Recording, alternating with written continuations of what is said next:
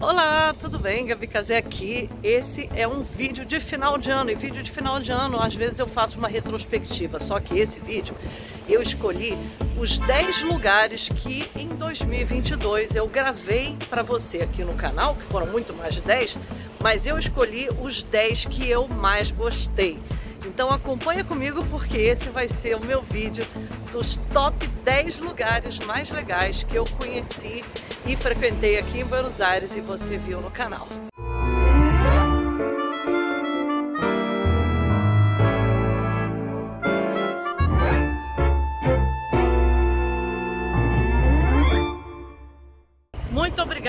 Você que está aqui, você que já me acompanha já faz algum tempo e para você que acabou de chegar, para você que chegou de paraquedas, como muitos comentam aqui no canal. Esse canal é feito para você que gosta de Buenos Aires, que viaja para cá, que tem planos de se mudar para cá, que quer estudar aqui, que vem transferido, não importa o motivo. Eu moro aqui e falo há muitos anos sobre como é viver em Buenos Aires. Então, nesse vídeo de hoje, eu reuni, e não foi uma tarefa fácil, os 10 lugares que em 2022 eu mostrando aqui no canal me chamaram mais atenção. Então foram vários vídeos que eu fiz em 2022. Todo domingo tem vídeo novo no canal. Aliás, já curte. Já curte essa ideia porque não é fácil, hein? Todo domingo botar vídeo novo no canal. Além disso, eu faço live toda segunda-feira às 8 da noite. Pois é, então é um volume de conteúdo muito grande. E eu escolhi os 10 mais legais, os lugares que eu fui, mostrei e para botar na ordem, de preferência. Então, assim, todos os 10 eu gosto muito, mas eu tive que botar numa ordem estratégica. Então, você não vai se arrepender de ver até o final. Inclusive, eu tenho uma surpresa para quem conseguir chegar até o final do vídeo com essa alegria do início. Você não vai se arrepender, beleza? Então, fica aí com o primeiro do meu top 10, que vai ser de 10 para 1. Agora eu vou dizer para você qual tá no décimo lugar, tá? É o restaurante Estilo Campo. Esse restaurante eu coloquei como top 10 de 2022 por vários motivos, tá? Ele é um restaurante de carne que eu gosto. Agora, eu já falei de vários restaurantes de carne que eu gosto. Dom Julio, por exemplo, é um restaurante de carne que eu gosto. Aliás, eu e muita gente. É considerado um dos melhores do mundo. E hum, nem por isso eu botei todos esses restaurantes de carne que eu gosto nessa seleção. Por que, que eu botei o estilo campo? Porque ele é um restaurante que fica em Porto Madeiro. E Porto Madeiro, tradicionalmente, é uma zona da cidade onde existem vários restaurantes de carne que são meio que armadilhas de turista, sabe? Alguns que são assim, buffet, que você paga um, um valor só. Tem, por exemplo, um que faz muito sucesso, que é o, La, o que eu não gosto muito Siga La Vaca também não gosto, mas esse vídeo não é sobre o, a, os restaurantes que eu não gosto. Até posso fazer um, um, vídeo sobre isso, né? Os restaurantes que eu não gosto em Buenos Aires. Não por maldade, mas é porque muita gente vai pela tradição. Esse estilo campo, eu gosto porque é um restaurante honesto em termos de carne. A carne é muito boa, ele é à la carte e eu gostei demais, inclusive já comi várias vezes uma costela alta, que é uma costela premium que tem lá, né, que é um assado premium, que é muito bom. Eu gostei, já comi outros cortes de carne lá. Então é um, bem localizado pra caramba, em Porto Madeiro, não é um restaurante tão famoso que a galera vai enlouquecidamente. E é bom demais, então, sabe? Por isso que eu tô dando ele como top 10. E o nosso próximo lugar é ainda nessa pegada de carne, um restaurante que eu gosto muito, fiquei inclusive bem perto da minha casa, fiquei em Palermo. E várias pessoas, inclusive vários membros do canal, que acabam encontrando comigo aqui em Buenos Aires, me agradecem por eu ter dado essa indicação. Então, eu além de ter a minha própria referência de que eu gosto muito, eu tenho feedback das pessoas que têm adorado o restaurante Roldan. O Roldan, ele é um restaurante de carne é muito bom, tem um preço bom também, não é um restaurante caríssimo, mas também não é um restaurante baratérrimo. Mas ele é muito bonito, a varanda, eu, se você for lá, fica na varanda. Eu recomendo muito, inclusive à noite, talvez à noite você tenha que fazer reserva. É um lugar muito bonito, muito alto astral e eu tenho ele como top 10 de 2022, por isso que ele está em nono lugar. Quem já me viu nesse lugar maravilhoso que é o tomate? Como não botar o tomate entre o top 10 dos melhores lugares que eu fui em 2022? Esse lugar é tão bonito, parece que ele é Natal o ano todo, né? Eu tô gravando esse vídeo no dia 24 de dezembro, então em pleno espírito natalino. E o tomate, ele guarda essa alegria o ano todo. Ele iniciou uma moda aqui em Buenos Aires, aliás, eu diria que ele aprofundou essa moda, porque todos os restaurantes aqui em Buenos Aires têm é, luzes do lado de fora, né? Muitas luzinhas.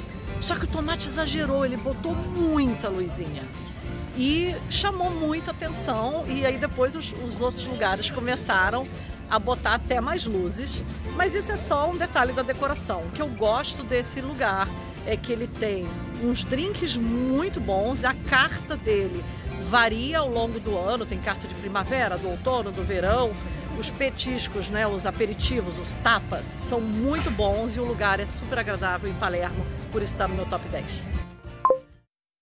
Esse lugar entrou na minha lista de top 10 para falar para você e na minha vida, porque eu já fui lá outras vezes, já levei meus parentes quando vieram me visitar aqui e vale uma visita. Buenos Aires tem tradição de mercados, mercados de bairro, mercados de comida, mercados gastronômicos. Existem vários, normalmente no bairro você encontra um. E eu tô falando do mercado de los Carruajes. Esse lugar é super sofisticado, é num lugar fora, fora da mão turística, ele não está num bairro, por exemplo, como Palermo, como Belgrano. Você dá para ir de metrô, eu tenho vídeo falando sobre isso no canal.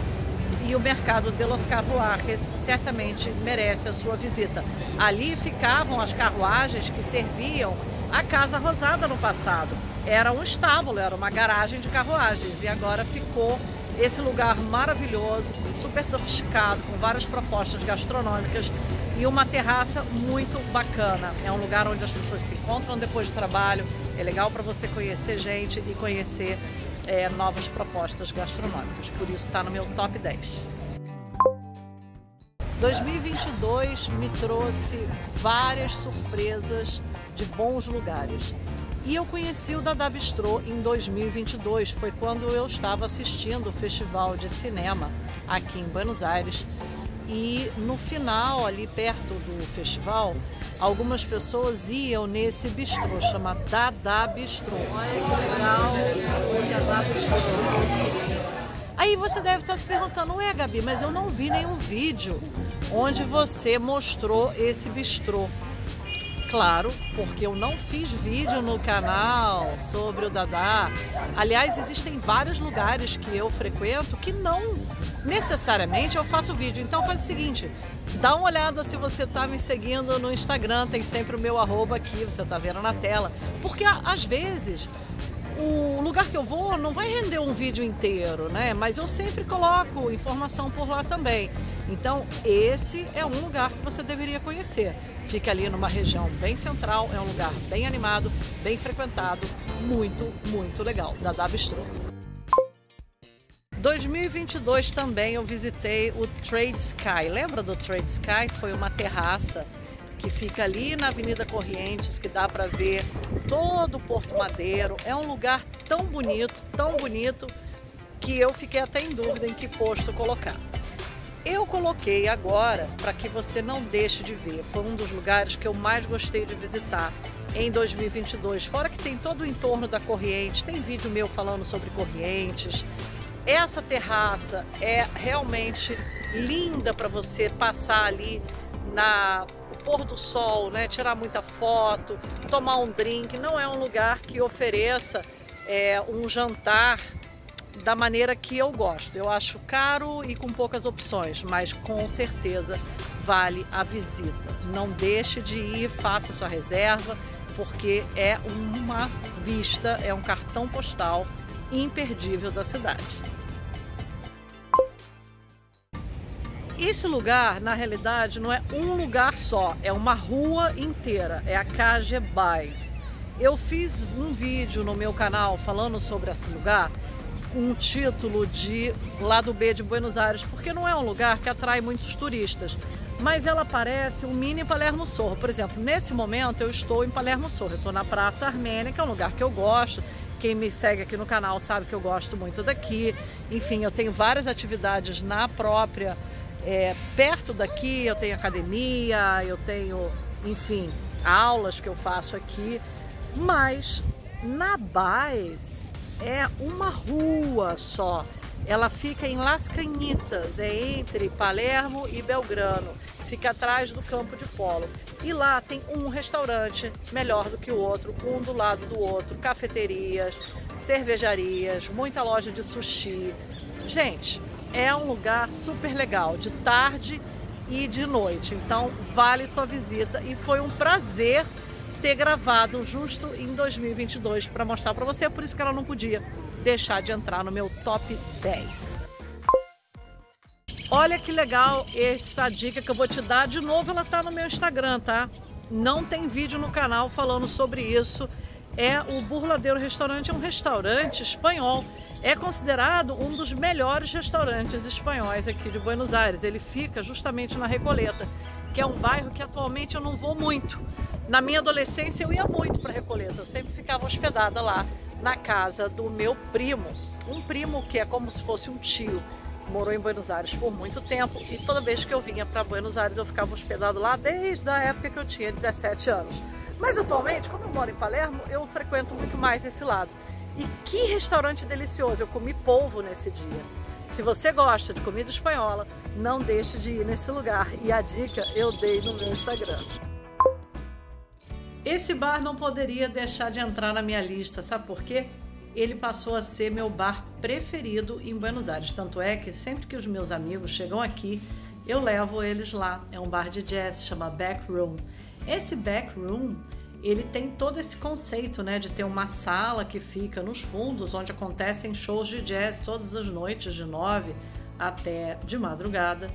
E também quando você é, mesmo não estando na sala, tem show de jazz todos os dias, de segunda a domingo. E tem uma livraria que fica do lado, ou seja, o bar é super legal. Os drinks são especialidades da casa, inclusive Buenos Aires é um dos lugares no mundo que é considerado como point de drinks. Aqui drink chama trago. O que eu quero dizer com isso é o seguinte: tem gente que gosta de viajar para é, apreciar drinks e Buenos Aires está no roteiro número um no mundo de cidades com os melhores drinks feitos. Então, e esse bar é um dos melhores, assim, realmente é muito bom, vale super a pena conhecer e por isso tá na minha lista. Olha, eu também quero mostrar agora, aproveitando, um presente que eu ganhei. Eu não estou vendendo isso não, tá? Isso não é uma venda para você, muito pelo contrário, é um agradecimento a um membro do canal que veio para cá, o Lúcio, a esposa dele fez um planner para mim. O planner chama Sofia Colore o Mundo, é o nome da empresa. Eles fizeram para mim usando a minha logomarca. Então é muito legal. Gostei. Quero agradecer publicamente e também mandar um beijo para todos os meus membros. Aproveitar o dia de hoje que eu estou gravando, que é 24 de dezembro, como eu já falei, para mandar um Feliz Natal para todo mundo. Para você que está me assistindo, esse Feliz Natal vai diretamente para você porque é uma data muito especial. Olha, ainda tem mais lugares inesquecíveis que eu fui em 2022 para eu compartilhar com você. Então assista até o final, porque o último item que eu dou de bônus é um lugar totalmente não intuitivo para uma pessoa que tem a ideia de conhecer Buenos Aires. E é um lugar pouco visitado pelos turistas e eu tenho certeza que você vai adorar, porque é um dos lugares que eu mais gosto. Então fica comigo que ainda tem lista pela frente. E chegou a hora de eu falar do meu top 1. E sabe qual é meu top 1? Que lugar legal, puxa vida. E eu conheci em 2022, porque inclusive é um lugar exclusivo, é um lugar fechado, não é um lugar que você possa ir adoidado, entendeu? Assim, ah, é um lugar exclusivo para sócios. Eu tô falando do campo de polo argentino. O campo de polo argentino, eu vou direto direto, fica no sábado e domingo aberto ao público. Eventualmente existem eventos que acontecem no final de semana. Por exemplo, é, se eu estou gravando para você hoje, dia 24 de dezembro, ontem teve o show da Tini, estava lotado de gente. Então, por exemplo, quando tem show, eles não abrem ao público, mas quando eles abrem ao público, tem vários food trucks, tem música ao vivo. É muito legal e com certeza vale sua visita porque é um lugar muito lindo, muito alto astral e fica aberto sexta e sábado e domingo. Quinta-feira à noite fica aberta a cervejaria, que é bem legal, que é ali dentro também. Mas durante o dia, a partir de meio-dia, você já pode curtir, é um lugar legal para ir em família, fica ali na Libertador, fica do lado dos bosques de Palermo, então assim, super estratégico e por isso tirou meu primeiro lugar, tá? E para você que está aqui até agora, eu vou te dar o bônus que eu prometi, que é um lugar completamente fora do normal aqui em Buenos Aires, nada intuitivo, porque inclusive não é um restaurante comum. Você sabe de que lugar eu estou falando? Hum, então vamos lá que eu vou te mostrar o bônus que eu deixei para o final.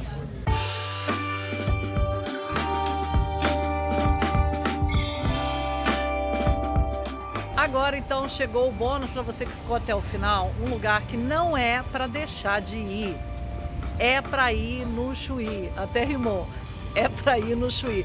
Gente, o Chuí é tão legal que eu até comemorei o meu aniversário em 2022 nesse restaurante com amigos. Ele fica na Loyola 1250. Eu já decorei o endereço de tanto que eu vou lá. É um restaurante que você não tem assim nem um cartaz avisando, não parece que é um restaurante. Ele fica numa rua escondida, ele fica numa rua onde não tem restaurantes, ele fica numa rua onde tem um monte de oficina, é, serralheria, é, ferreteria, enfim, ele fica em Bicha Crespo, mas é um lugar muito legal. Bicha Crespo é um bairro fantástico, tem vários vídeos falando de Bicha Crespo, só que o que eu te falei que não é intuitivo é que estando na Argentina e você sabendo que eu sou carnívora, afinal de contas a carne aqui na Argentina é uma maravilha, esse restaurante é vegetariano. E eu não sou vegetariana, mas e daí? É uma delícia. Você que é vegetariano vai adorar, tá? É um dos melhores restaurantes é, vegetarianos do mundo. Eu tenho vários amigos vegetarianos, inclusive gente é, de São Paulo, do Rio, pessoal europeu, que adora esse restaurante. E eu que não sou vegetariana, amo o restaurante também. Todos os vegetais são maravilhosos o jeito que eles fazem, a, o pão de massa madre, a focaccia, a pizza. Gente, que pizza é aquela? Que lugar lindo, que jardim maravilhoso, que atendimento, que lugar diferente. Com certeza é o top número zero de top número um e bônus um mais um AAA o Chuí. Gostou desse vídeo? Então não deixa de compartilhar com um amigo um beijo e até a próxima.